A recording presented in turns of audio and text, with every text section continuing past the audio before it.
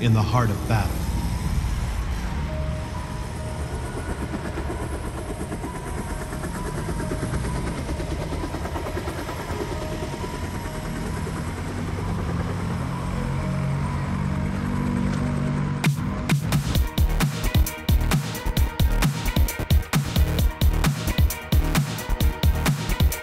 Also angefangen hat das alles 2003.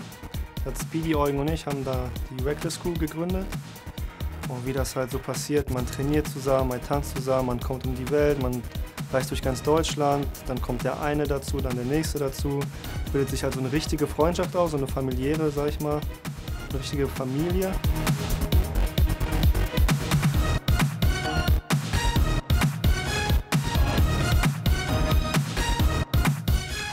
Ich war 2003 und 2004 auch das erste Mal beim Bell of Sea, hab mir das mal angeguckt. Na klar, wenn man das sieht, will man unbedingt dabei sein. Und das ist einfach das Besondere, dass in der Laufbahn der Breakdance-Geschichte eines Tänzers ist man der Meinung, also bin ich der Meinung, muss man einfach mal auf der Bühne dort stehen.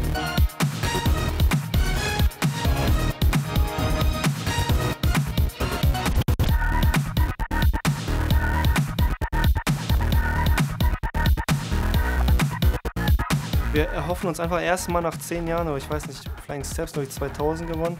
Und Frank Fellers war, glaube ich, auch mal auf der Bühne, einfach wieder als deutsche Crew in die Bells zu kommen.